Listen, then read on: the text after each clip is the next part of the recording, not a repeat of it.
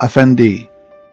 اسم أسرة وهو لقب كان يطلق على أبناء الأمراء تقديرا لهم.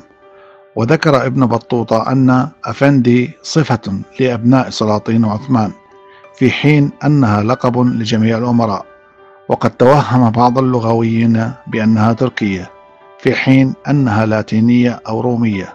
استخدمها العثمانيون ومعناها من يقوم بالعمل بنفسه. وقد اشتهرت في بلادنا أسماء لأسر عديدة وصفات للاحترام. تعادل كلمة سيد ونقلت من اللاتينية إلى اليونانية ومنها إلى التركية ثم إلى العربية ولهذا تغير نطقها. وهذا المعنى موجود بالكامل في وصف الفيديو في الأسفل. كما يمكنكم الاشتراك في صفحتي الفيسبوك والإنستغرام لقناة تصميم الأسماء. وهي موجودة في الوصف أيضاً.